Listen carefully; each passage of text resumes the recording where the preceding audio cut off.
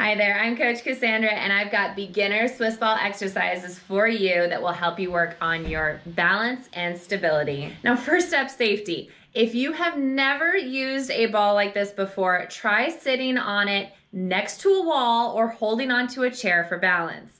Work your way up to doing these exercises without any assistance. All right, so first up is ball circles.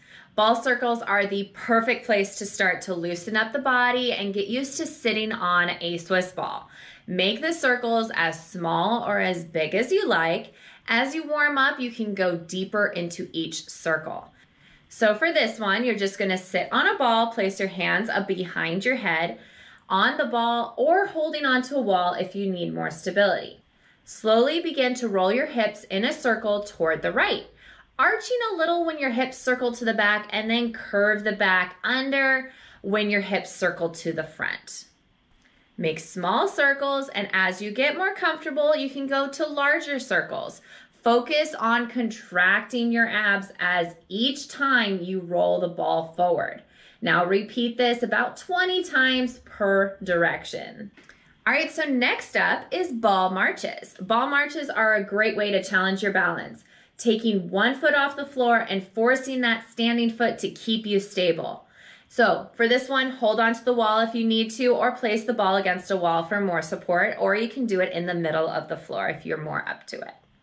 All right, so first up, sit on the ball with your spine straight and your abs nice and tight. Take your hands behind your head if you can, or keep them on the ball and lift your right foot off the floor just a few inches. Lower your foot and then lift your other foot off the ground a couple of inches. Now, as you get more comfortable with the movement, you can lift your knee higher and march faster. You can also add a little bounce on the ball if you feel more comfortable. Repeat this for about one to two minutes.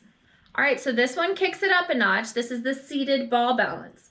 So this exercise will really challenge your balance. So give yourself some time to practice and perfect this one.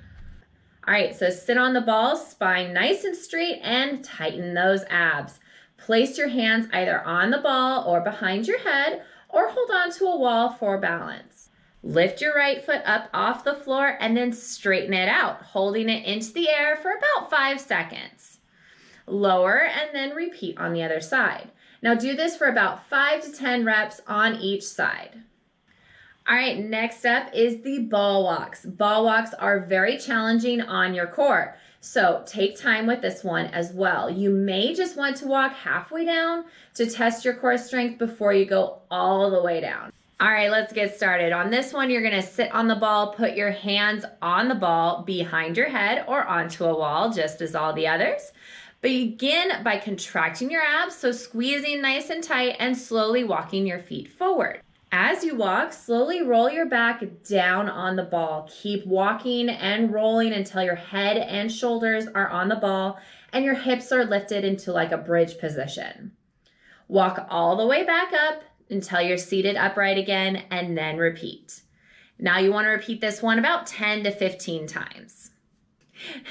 Now you will notice that the ball might move, so you might be traveling across the floor. Totally fine, totally normal. You're doing it right. Just reposition the ball if you find that you're all the way across the room. All right, next up is one of my personal favorites, the ball squat.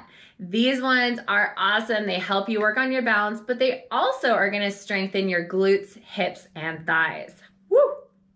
All right, let's get into it. For this one, prop the ball up against the wall and position it behind your lower to your mid back. Walk your feet out a bit so that you're leaning against the ball, feet about hip distance apart. You want to have your feet a little bit further forward than you think you might will because if your knees are too close to the wall, you might strain your knees. Now bend your knees and lower into a squat, going as low as you can. Try looking down to make sure your knees aren't drifting too far over your toes. And remember, you want to lean back into that ball. Now, keep your weight in your heels as you push up and try not to lock your knees when you stand. Now, repeat this about 15 times. And if you want to add a little bit extra intensity, stay down in that squat position for a moment before you come up to standing. All right, next up is the back extension. This is another awesome exercise, but it can be a little tricky to get into the position. But once you got it, you are golden. All right, so for this one, you're gonna lie face down with the ball under your hips or your lower torso, your lower belly, belly button to your pelvis, somewhere around there. You can rest on your knees, which is easier, or on your toes with your knees straight, which is more challenging. You might also want to put your feet up against a wall so that you don't slip and slide. Now place your hands under your chin, elbows bent. Roll forward over the ball and then contract your lower back to lift your chest up off the ball, okay? You're gonna lift that chest up off the ball. Try to get up as high as you can, but don't hyperextend your back, okay? Now repeat, lower yourself back down and then back up again and repeat that for about 12 to 15 repetitions. All right, last exercise I have for you today is gonna work on your glutes and your hamstrings as well as your stability muscles working on that balance. And that is the hip lifts. For this one, you're gonna lie on the floor with your heels propped up on the ball, keeping your abs nice and tight. Slowly lift your hips up off the floor, squeezing your booty.